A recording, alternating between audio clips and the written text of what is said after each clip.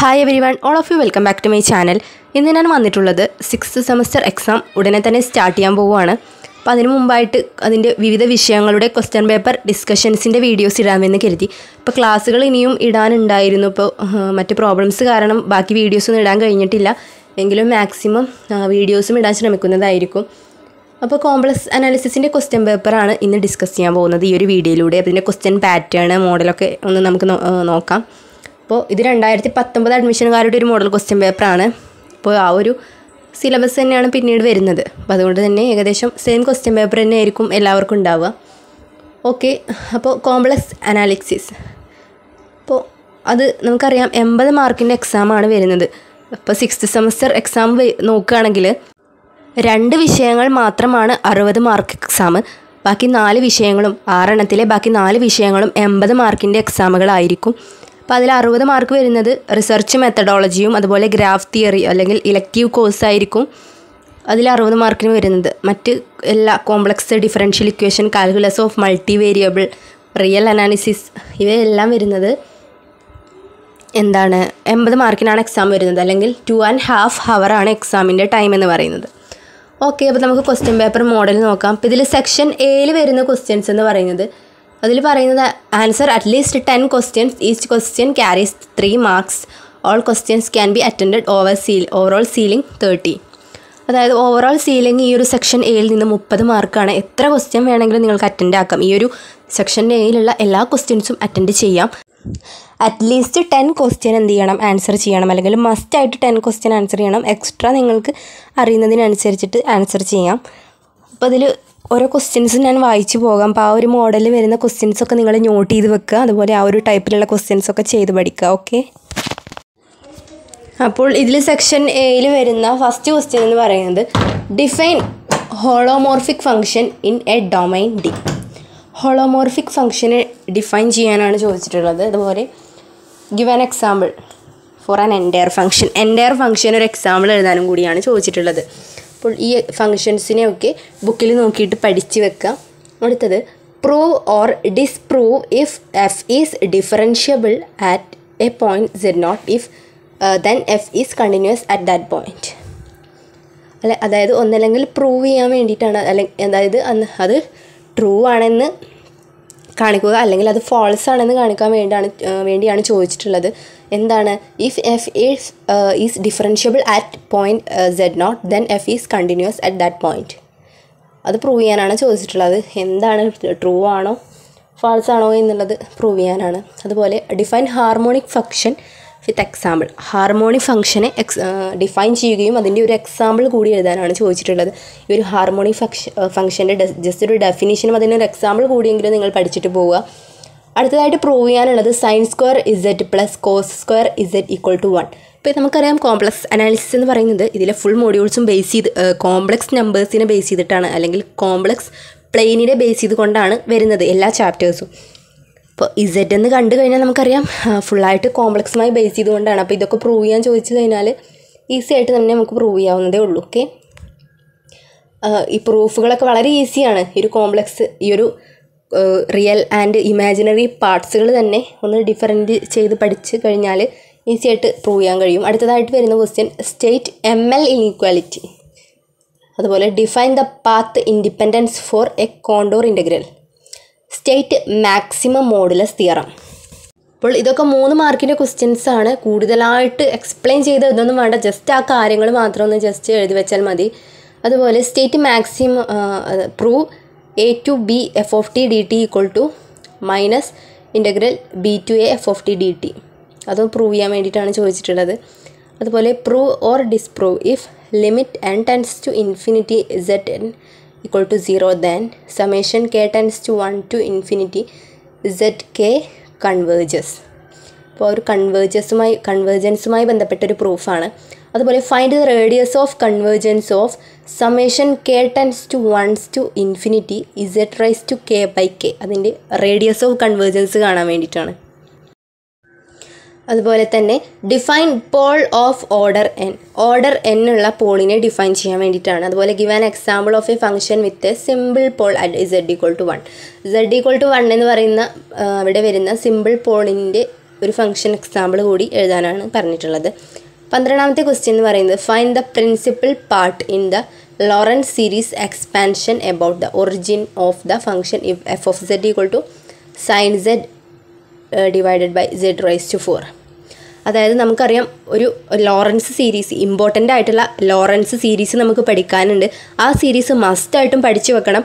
ആ സീരീസുമായി ബേസ് ചെയ്തുകൊണ്ട് ഇങ്ങനെയുള്ള ക്വസ്റ്റ്യൻസ് വരും എക്സ്പാൻഷൻ ചോദിച്ചുകൊണ്ടുള്ളത്. അപ്പോൾ ഈ ഒരു മെത്തേഡ് യൂസ് ചെയ്തുകൊണ്ടാണ് ലോറൻസ് സീരീസ് യൂസ് ചെയ്തുകൊണ്ടാണ് ഇങ്ങനെയുള്ള കാര്യങ്ങളൊക്കെ പ്രിൻസിപ്പൽ പാർട്ട് ഫൈൻഡ് ചെയ്യാൻ വേണ്ടിയിട്ടുള്ള ക്വസ്റ്റ്യനൊക്കെയാണ് ഈ ഒരു മെത്ത് ഇതിലൊക്കെ അതാണ് യൂസ് ചെയ്യേണ്ടത് ഓക്കെ അടുത്തതായിട്ട് പതിമൂന്നാമത്തെ ക്വസ്റ്റ്യൻ സ്റ്റേറ്റ് റോഷ് തിയറം അതുപോലെ find the residue of sine z by z at z equal to zero അതുപോലെ how many zeros of arc in the disc modulus z equal to one for the function f of z equal to z raise to nine minus eight z raise to seven plus five ആ ഒരു ഫംഗ്ഷന്റെ എത്ര zeros of ആർക്കാണ് ആ ഒരു disk ആ ഒരു ഡിസ്കിലുള്ളത് എന്നാണ് ചോദിച്ചിട്ടുള്ളത്. അപ്പോൾ അതൊക്കെ ആ ഒരു സീറോസ് ഓഫ് ദ ഫംഗ്ഷൻ എന്ന് പറയുന്ന ആ ഒരു ഭാഗത്ത് വരുന്ന മോഡൽ ക്വസ്റ്റ്യൻസ് ആണ്. അപ്പോൾ ഇത്രയും ക്വസ്റ്റ്യൻസ് ആണ് സെക്ഷൻ എയിൽ വന്നിട്ടുള്ളത്. ഓക്കെ അടുത്തതായിട്ട് സെക്ഷൻ ബിയിൽ ക്വസ്റ്റ്യൻസ് ആണ്. Answer at least five questions അതായത്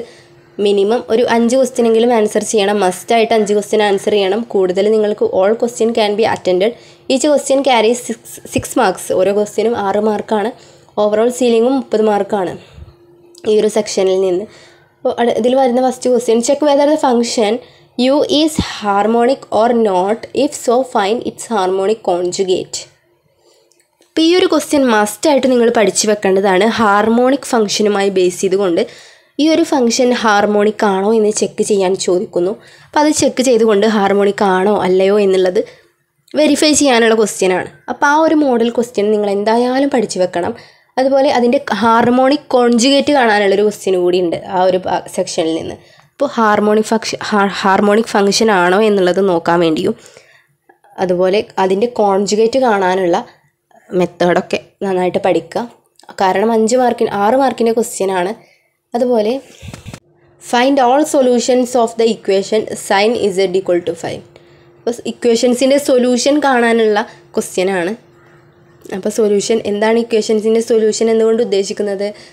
അതെങ്ങനെയൊക്കെയാണ്? ഏതൊക്കെ സ്റ്റെപ്പുകളാണ് എന്നുള്ളതൊക്കെ നന്നായിട്ട് പഠിച്ചു പോവുക. ഈ ഒരു ക്വസ്റ്റ്യനും അഞ്ച് മാർക്കിന് ആറ് മാർക്കിനൊക്കെ വരുന്ന ക്വസ്റ്റ്യനാണ് അടുത്തത് state and proof fundamental theorem of algebra fundamental theorem of ആൽജിബ്രയെ statement എഴുതണം അല്ലെങ്കിൽ ഡെഫിനേഷൻ എഴുതണം അതുപോലെ അതിന്റെ പ്രൂഫും എഴുതണം. അപ്പോൾ ഈ ഒരു ക്വസ്റ്റ്യൻ മസ്റ്റായിട്ട് തന്നെ പഠിച്ചു പോവുക. അപ്പോൾ നമ്മുടെ ടെക്സ്റ്റിൽ ബുക്കിലാ ബുക്കിലാണെങ്കിലും വളരെയധികം ക്ലിയർ ആയിട്ട് വിശദീകരിച്ച് കൊടുത്തിട്ടുണ്ട്. അപ്പോൾ ഈ ഒരു പോർഷന് നിങ്ങൾ നന്നായിട്ട് എഴുതി പഠിക്കുക. അതുപോലെ അടുത്തത് state and proof Morera's theorem അതുപോലെ ഒരുപാട് തിയറംസ് വരുന്നുണ്ട്. ആ തിയറംസ് ഒക്കെ ഇപ്പോൾ നേരത്തെ പറഞ്ഞ കേസുകളാണെങ്കിലും അപ്പോൾ ആ ഒരു തിയറംസ് കാര്യങ്ങൾ തിയറം ഫണ്ടമെന്റൽ തിയറംസ് ഹാർമോണിക് ഫംഗ്ഷനുമായി ബന്ധപ്പെട്ട കാര്യങ്ങൾ ഇതൊക്കെ ഇമ്പോർട്ടന്റ് ആണ്. അത്തരം ടോപ്പിക്കുകളൊന്നും കവർ ചെയ്യാതെ എക്സാമിന് പോകരുത് ഓക്കെ അടുത്തതായിട്ട് find the Taylor series expansion with centre z naught equal to two i of f of z equal to one by one minus z അപ്പോൾ ഇതിന്റെ ടൈലർ സീരീസ് എക്സ്പാൻഷൻ എഴുതാനാണ്. അപ്പോൾ ഇതിന്റെ ലോറൻ സീരീസ് ഉപയോഗിച്ചുകൊണ്ട് നമുക്കറിയാം നേരത്തെ പറഞ്ഞ പോലെ തന്നെ ആ ഒരു കേസ് ഇമ്പോർട്ടന്റ് ആണ്. അപ്പോൾ നിങ്ങൾക്ക് മൂന്ന് മാർക്കിന്റെ ഇപ്പോൾ നേരത്തെ ആ ഒരു ക്വസ്റ്റ്യനിൽ മൂന്ന് മാർക്കും ലഭിച്ചു. ഈ ഒരു ഇതിലൊരു ആറ് മാർക്കും ലഭിച്ചു കഴിഞ്ഞാൽ ഒരു പത്ത് ഒമ്പത് മാർക്ക് പത്ത് മാർക്കോളം ആ ഒരു harm series Laurent series Taylor series ഭാഗത്ത് നിന്ന് തന്നെ നിങ്ങൾക്ക് നേടാൻ കഴിയും. അപ്പോൾ അത് നന്നായിട്ട് പഠിക്കുക identify the singular points and classify them f of z equal sine z e raise one by z minus one divided by z into one plus z singular points കണ്ടുപിടിക്കാനും അതിനെ ക്ലാസിഫൈ ചെയ്യാനുമാണ് ചോദിച്ചിട്ടുള്ളത്. സിംഗുലാർ പോയിന്റ്സ് എന്താണ് എന്നുള്ളതൊക്കെ അറിയാമെന്ന് വിചാരിക്കുന്നു. അപ്പോൾ അതിന് അതിന്റെ ബേസ് ചെയ്തുകൊണ്ട് ഫംഗ്ഷനെ ക്യാൻ ക്ലാസിഫൈ ചെയ്യാനുള്ള ക്വസ്റ്റ്യൻ ആണ്. അതുപോലെ find the find residue of e raise to e raise to i at z equal to zero residue കാണാനുള്ള ക്വസ്റ്റ്യനാണ് ലാസ്റ്റ് മൊഡ്യൂളിൽ വരുന്ന റെസിഡ്യൂസ് എന്ന് പറയുന്ന ആ ഒരു പോർഷനിൽ വരുന്നതാണ് എങ്ങനെയാണ് റെസിഡ്യൂ കാണുന്നത്? എന്താണ് റെസിഡ്യൂ എന്നൊക്കെ. അപ്പോൾ ആ ഒരു ക്വസ്റ്റ്യൻ മോഡൽ വെച്ചാണ് ഇത് പഠിക്കേണ്ടത്. അടുത്തത് find integral minus infinity to infinity one by x raise to four plus one d x അതിന്റെ ഇന്റഗ്രേഷന്റെ വാല്യൂ കാണാനാണ്. അപ്പോൾ അത്രയും ആണ് സെക്ഷൻ ബിയിൽ വന്ന് വരുന്ന മോഡൽ ക്വസ്റ്റ്യൻസ് അപ്പോൾ ഏകദേശം നിങ്ങൾക്ക് ക്വസ്റ്റ്യൻ പേപ്പറിന്റെ പാറ്റേൺ കാര്യങ്ങളൊക്കെ ഒന്ന് മനസ്സിലായല്ലോ. ഇനി ലാസ്റ്റ് ഒരു സെക്ഷൻ കൂടിയുണ്ട് എസ് എ ടൈപ്പ് ക്വസ്റ്റ്യൻസ് ആണ്. അപ്പോൾ ഇതിൽ വരുന്നത് ടോട്ടൽ നാല് ക്വസ്റ്റ്യൻസ് തന്നിട്ടുണ്ട്. അതിൽ നിന്നും രണ്ടെണ്ണമാണ് നിങ്ങളോട് ആൻസർ ചെയ്യാൻ പറഞ്ഞിട്ടുള്ളത്. അപ്പോൾ ഓരോ ക്വസ്റ്റ്യനും രണ്ടെണ്ണത്തിൽ ഓരോ ക്വസ്റ്റ്യനും പത്ത് മാർക്കാണ് ഇതിന് സീലിംഗ് ഇല്ല കേട്ടോ ഈ ഒരു സെക്ഷൻ സീൽ സീലിംഗ് ഇല്ല. അതുകൊണ്ട് നിങ്ങൾ എല്ലാ ക്വസ്റ്റ്യനും വാരി വലിച്ചെഴുതിയിട്ട് കാര്യമില്ല. ഇതിൽ നിന്ന് നിങ്ങൾക്ക് ഈ ഒരു ലാസ്റ്റ് സെക്ഷനിൽ നിന്നും നിങ്ങൾക്ക് ഏറ്റവും അറിയാവുന്ന രണ്ട് ക്വസ്റ്റ്യൻ മാത്രം നിങ്ങൾ അറ്റൻഡ് ചെയ്യുക. ബാക്കി ക്വസ്റ്റ്യൻസ് ഒരുപാട് ക്വസ്റ്റ്യൻസ് എല്ലാ ക്വസ്റ്റ്യനും എഴുതിയിട്ട് കാര്യമില്ല. നിങ്ങളുടെ ടൈം കുറേ വേസ്റ്റ് ആവുമെന്നല്ലാതെ ഇപ്പോൾ ഈ ഒരു സെക്ഷൻ സിയിൽ ഫസ്റ്റ് വരുന്ന model question state and prove Cauchy Riemann equation also state the sufficient condition for differentiability Cauchy Riemann equation വളരെ ഇമ്പോർട്ടന്റ് ആണ്. അതിന്റെ സ്റ്റേറ്റ്മെന്റ് അതിന്റെ പ്രൂഫ് കൂടാതെ ഡിഫറൻഷ്യബിലിറ്റിക്ക് വേണ്ടിയിട്ടുള്ള sufficient condition of Cauchy Riemann equation അത് മൂന്നും ഇമ്പോർട്ടന്റ് ആണ്. ഈ ഒരു സെക്ഷൻ സിയിൽ അല്ലെങ്കിൽ ആ ഒരു സെക്ഷൻ ബിയിലായിട്ടെങ്കിലും നിങ്ങളോട് അത് ചോദിക്കാതിരിക്കില്ല. ഈ ഒരു കോഷി റൈമാൻ ഇക്വേഷൻ അതുപോലെ state and prove Cauchy's integral formula for derivatives Cauchy's integral ഫോർമുലയും important ആണ്.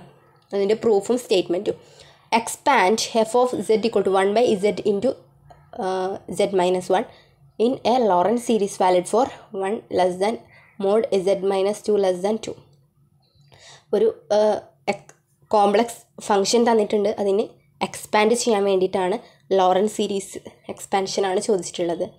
ലോറൻസ് സീരീസും നേരത്തെ പറഞ്ഞതുപോലെ വളരെ ഇമ്പോർട്ടന്റ് ആണ്. ലാസ്റ്റ് ചോദിച്ചിട്ടുള്ളത് state and prove Cauchy's residue theorem ഈ ഒരു സെക്ഷൻ സിയിൽ വന്നിട്ടുള്ള മൂന്ന് ക്വസ്റ്റ്യനും Cauchy Riemann integral Cauchy integral formula Cauchy's residue തിയറമാണ് അപ്പോൾ ഇതെല്ലാം വളരെ ഇമ്പോർട്ടന്റ് ആണ് കൂടാതെ ലോറൻ സീരീസും അപ്പോൾ ഇതിൽ നിന്നും അറിയുന്ന ഏറ്റവും അറിയുന്ന രണ്ട് ക്വസ്റ്റ്യന് ആൻസർ ചെയ്യുക. പത്ത് മാർക്കിന്റെ ക്വസ്റ്റ്യൻസ് ആയിരിക്കും. അപ്പോൾ നന്നായിട്ട് തന്നെ പ്രൂഫും സ്റ്റേറ്റ്മെന്റും ഒക്കെ ഉൾപ്പെടുത്തി എഴുതണം. അപ്പോൾ ഇങ്ങനെയാണ് ഒരു കോംപ്ലക്സ് അനാലിസിസ് ക്വസ്റ്റ്യൻ പേപ്പർ നിങ്ങൾക്ക് എക്സാമിന് ഉണ്ടാവുക. അപ്പോൾ ഈ ഒരു മോഡൽ ബേസ് ചെയ്തുകൊണ്ട് ജസ്റ്റ് ഒന്ന് നിങ്ങൾക്ക് മനസ്സിൽ ക്വസ്റ്റ്യൻ പേപ്പർ പാറ്റേൺ കാര്യങ്ങളൊക്കെ ഒന്ന് മനസ്സിലാവാൻ വേണ്ടിയാണ് ഈ ഒരു വീഡിയോ ചെയ്തത്. അപ്പോൾ ഇതിൽ നിന്നും ഞാൻ പറഞ്ഞിട്ടുള്ള ആ ഒരു ഇമ്പോർട്ടന്റ് ആയിട്ടുള്ള ഭാഗങ്ങളൊക്കെ നിങ്ങൾ ബുക്കിൽ പോയി നോക്കിയിട്ട് അതിൽ ആ ഒരു ഇമ്പോർട്ടന്റ് ക്വസ്റ്റ്യൻസൊക്കെ നന്നായിട്ട് പഠിക്കുക. നമുക്കറിയാം ഇനി എക്സാമിന് അധിക ദിവസങ്ങളില്ല. അതുകൊണ്ട് തന്നെ ഉടനെ തന്നെ പഠിക്കുക. ഓക്കെ അപ്പോൾ ഈ ഒരു വീഡിയോ നിങ്ങൾക്ക് എല്ലാവർക്കും വളരെ യൂസ്ഫുൾ ആയെന്ന് വിശ്വസിക്കുന്നു. അപ്പോൾ മറ്റ് ക്വസ്റ്റ്യൻ പേപ്പേഴ്സൊക്കെ നമുക്ക് ഇതുപോലെ ഡിസ്കസ് ചെയ്യാം. ഓക്കെ അപ്പോൾ എന്റെ ചാനൽ ഇതുവരെ സബ്സ്ക്രൈബ് ചെയ്തിട്ടില്ലെങ്കിൽ ഒന്ന് സബ്സ്ക്രൈബ് ചെയ്ത് വെക്കുക. അതുപോലെ ഡിഫറൻഷ്യൽ ഇക്വേഷൻസിന്റെയും ഗ്രാഫ് തിയറിയുടെയും ഒക്കെ വീഡിയോസൊക്കെ ഇട്ടിട്ടുണ്ടായിരുന്നു ക്ലാസ്സുകൾ അപ്പോൾ ആ ക്ലാസ്സുകൾ കാണാൻ പറ്റുന്നവരാണെങ്കിൽ മാക്സിമം ക്ലാസ്സുകൾ കൂടി കാണുക. Okay thank